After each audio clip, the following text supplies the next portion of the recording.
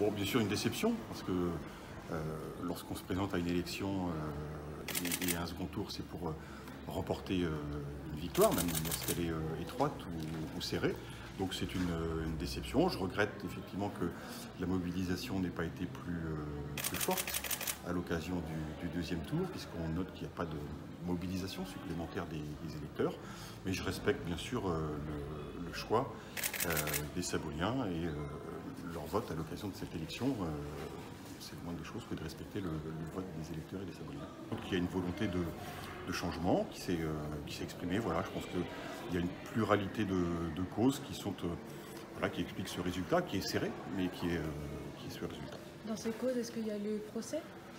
Oh, Quand j'évoquais tous les, les paramètres plutôt actuels et puis des paramètres plus anciens, je, sans doute que c'est un élément qui a pu qui a pu jouer ou qui a pu euh, façonner des, des, réflexions ou des choix de, de position ou de vote. Il y en a d'autres, sans doute.